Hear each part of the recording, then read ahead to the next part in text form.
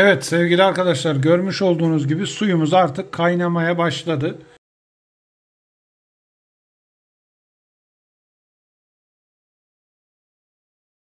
Gayet güzel bir şekilde indüksiyonlu su ısıtıcımız görevini yerine getirdi.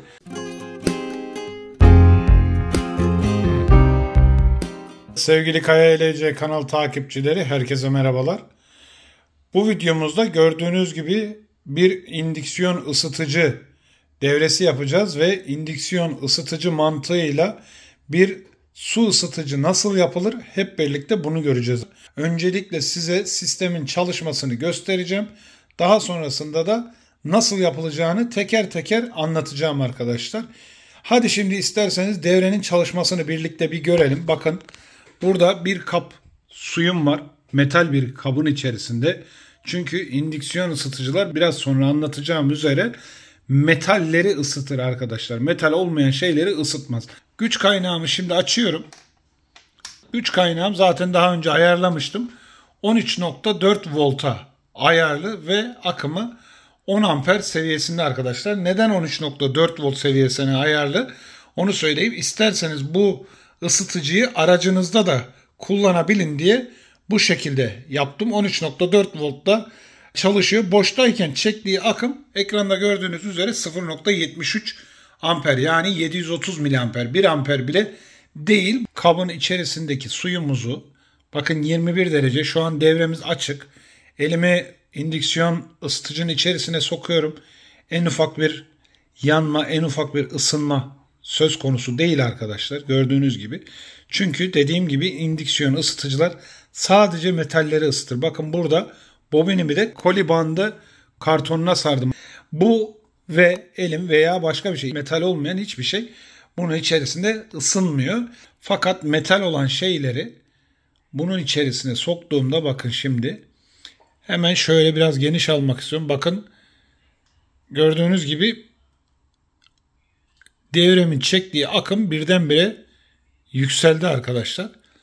Bakın 5.88 amper seviyesine 5.90 amper seviyesine çıktı. Yani 6 ampere yakın bir akım çekiyor ve toplamda 80 wattlık bir güç harcaması söz konusu indüksiyon ısıtıcımızın. Hadi gelin şimdi devrenin yapımını hep birlikte görelim ve daha sonrasında da suyu ne kadar zamanda kaynatacak hep birlikte onu test ederiz. Evet sevgili arkadaşlar devremizin kalbini burada görmüş olduğunuz gibi 2 adet IRFZ 44 MOSFET oluşturuyor. Ve bu MOSFET'ler birer soğutucuya bağlı gördüğünüz gibi.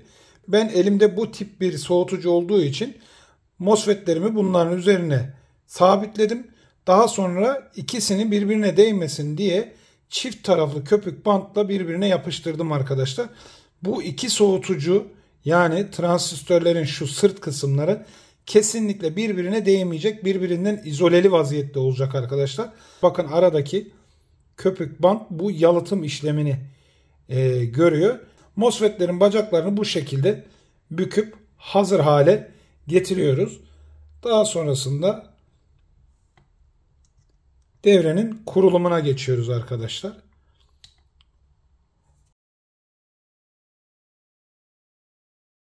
Evet bu şekilde lehimledikten sonra devremizin eksi besleme ucu bu görmüş olduğunuz tel olacak arkadaşlar. Bu geyik bacaklarını 10'ar K'lık dirençle yani birer adet 10 K'lık dirençle görmüş olduğunuz gibi kahverengi, siyah, turuncu arkadaşlar. 10K'nın renkleri. Bu dirençle eksiye bağlıyorum.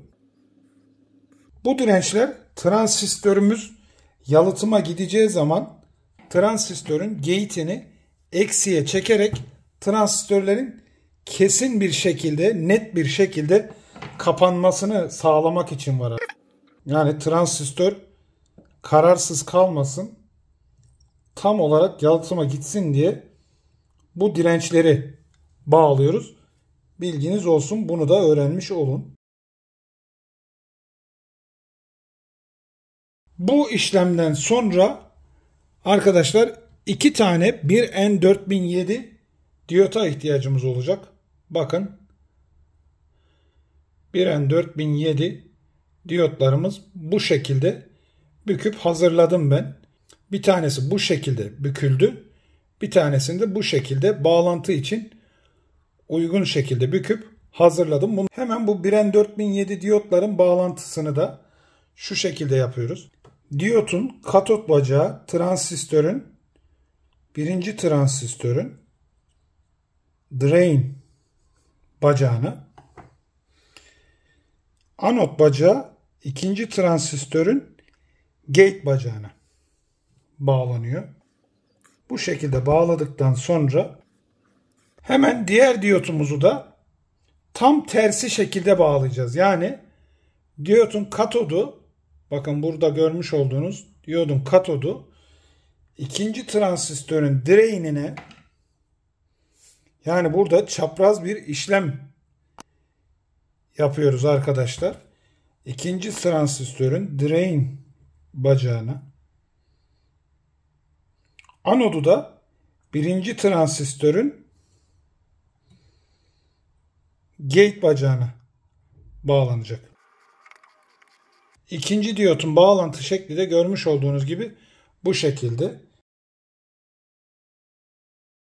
Evet arkadaşlar bu şekilde burayı da bağladıktan sonra sıra geldi hemen 390 ohmluk dirençlerimizi besleme için vereceğimiz bağlantı kısmına yani artı beslemeyi vereceğimiz uca bağlayacağız. Bunu da transistörlerimizin gate'inden 390 ohmluk dirençleri bu şekilde bağlıyoruz. Her ikisini de.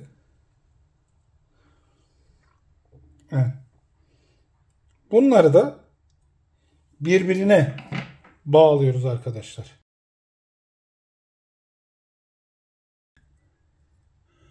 Bu şekilde bağladım. Geyiklerden geldi 390 ohmluk dirençler uçları birbirine bağlanmış oldu. 390 ohmluk direncin renkleri turuncu, beyaz, kahverengi görmüş olduğunuz gibi. Evet şimdi devremizin bu kısmı hazır arkadaşlar. Bu bobinimizin tel kalınlığı bakın 1.20'ymiş arkadaşlar. 1.20 milimetrelik telden 6 tur sarıyoruz kolibandı kartonun üzerine ve tam orta kısmından görmüş olduğunuz gibi bir uç çıkarıyoruz. Yani 3 tur sarıyoruz, bir uç çıkarıyoruz. Sonra bir 3 tur daha sarıyoruz ve son ucumuzu çıkarıyoruz arkadaşlar. Görmüş olduğunuz gibi bobin telimiz bu şekilde. İkinci bir bobinimiz daha var. Bakın o da küçük bobinimiz. Bu bobinin de hemen size kaç henry'lik bir bobin olduğunu söyleyeyim. Bu da hurda güç kaynaklarından sökebileceğiniz bir bobin. Benim kullandığım bobinin kaç henry olduğunu görmek isterseniz 30 mikrohenry'lik bir bobin arkadaşlar. Yalnız 10 ampere kadar kaldırabilecek bir tel kalınlığına sahip olması lazım bilginiz olsun. Yani 30 mikrohenry 10 amperlik bir bobin teli olacak ve ferit nüve üzerine sarılı bir şekilde olacak arkadaşlar. Dediğim gibi bunu arızalı güç kaynaklarının devrelerinden söküp kullanabilirsiniz. Bu bobinimizi hemen şu büyük bobinimizin orta bacağına lehimliyoruz.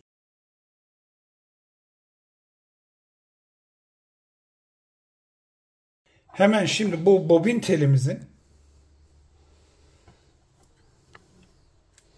bu iki ucunu getirip transistörlerimizin drain bacaklarına lehimleyeceğiz.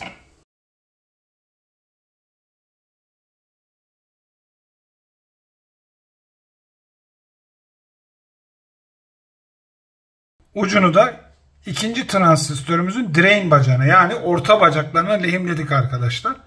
Hemen bu aşamada bobin telimizin uçlarına paralel iki tane 0.20 mikrofarad 0.22 mikrofarad 400 voltluk kondansatör lehimleyeceğim. Bu kondansatörler aynı zamanda 220 nanofarad 400 volt anlamına da gelir arkadaşlar. 0.22 mikrofarad.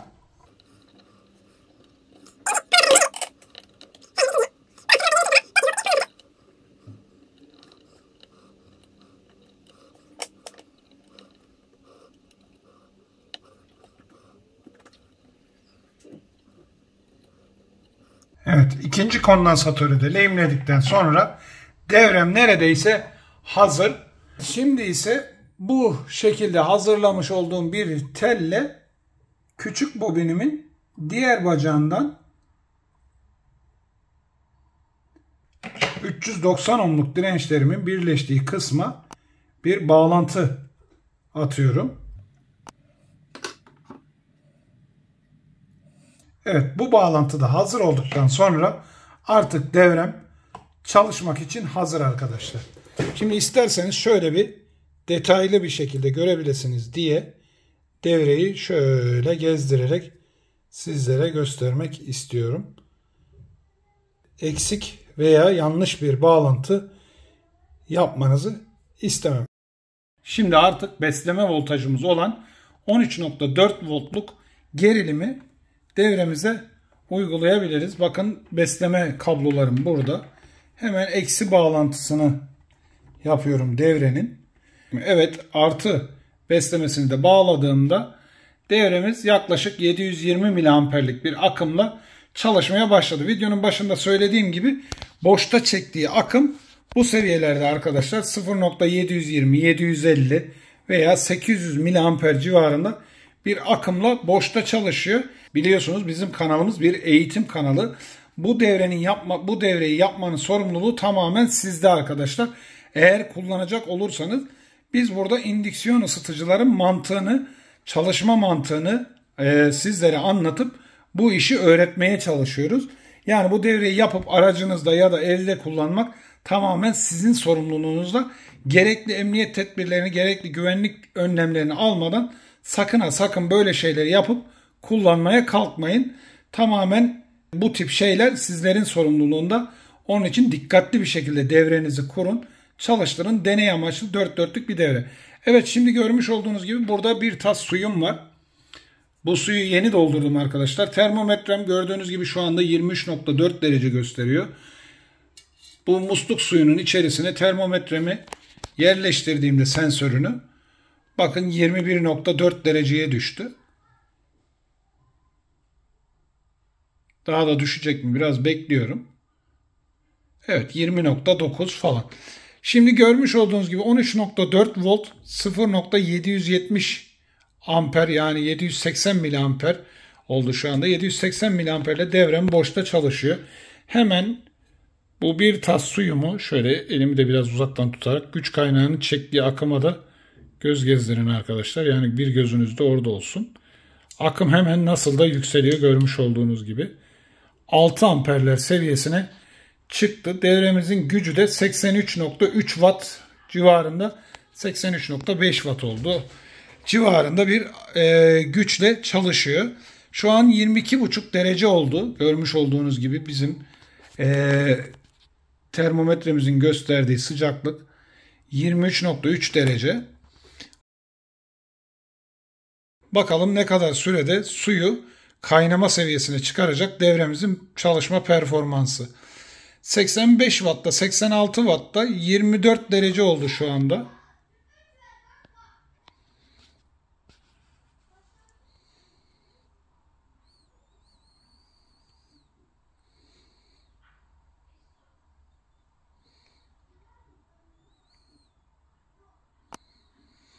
Buraları biraz hızlandıracağım arkadaşlar. Devre evet yavaş yavaş e, ısıtıyor ama etkili bir ısıtma performansı var.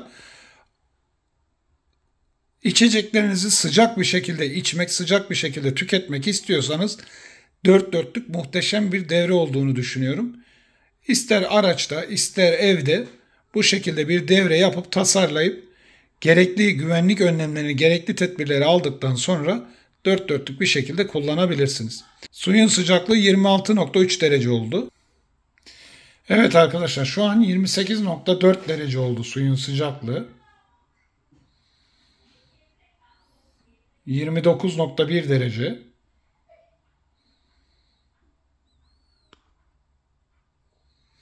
Buraları biraz hızlandıracağım.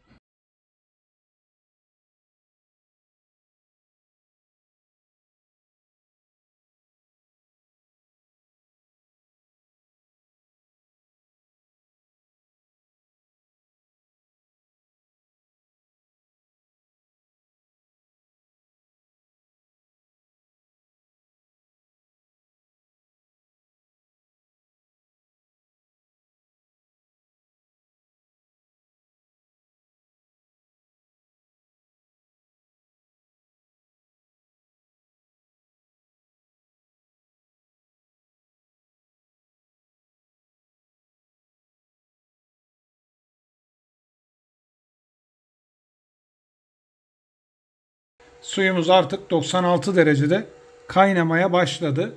Gayet güzel bir şekilde indüksiyonlu su ısıtıcımız görevini yerine getirdi. Görmüş olduğunuz gibi aracınızda dört dörtlük kullanabileceğiniz bir su ısıtıcısını hep birlikte yapmış olduk. Bu videomuzda buraya kadar sevgili arkadaşlar. Bu tür teknik ve bilimsel konulara ilgi duyuyorsanız ve merakınız varsa lütfen kanalımızı takip etmeyi, abone olmayı, bildirimlerinizi açmayı, beğendiğiniz videolara beğeni bırakmayı ve yorumlarda bilgi, deneyim, tecrübe ve fikirlerinizi lütfen bizimle paylaşmayı unutmayın. Yeni bir videoda, yeni bir projede görüşünceye dek hoşçakalın.